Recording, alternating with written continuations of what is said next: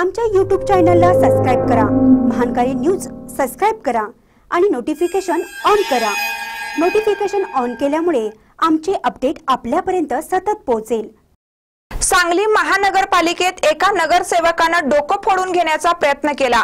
अर्थसंकल्पीय सभेची घटना सांगली महानगरपालिकेची आज अर्थसंकल्पीय सभा होती. नगरसेवकाच्या फायली मंजूर होत नसल्यानं नगरसेविका सुरेखा कांबळे यांनी सभागृहातच दगडाने डोके फोडून घेण्याचा प्रयत्न केला. इतर महिला नगरसेवकांनी हस्तक्षेप केला त्यावेळी मोठा अनर्थ टळला. महानगरपालिकेच्या सभागृहातच दगड आपटून घेत सुरेखा कांबळे यांनी प्रशासनाचा निषेध केला.